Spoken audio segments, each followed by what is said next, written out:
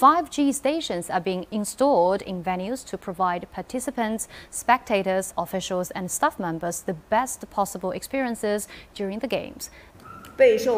All venues for the Winter Olympics will have 5G, as well the streets and roads connecting venues. This allows for ultra high definition video and various smart devices.